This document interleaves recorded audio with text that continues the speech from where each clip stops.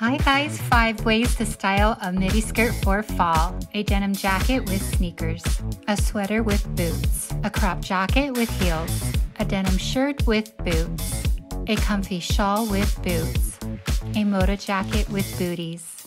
Which one of these fall styling tips is your favorite? Leave a comment below.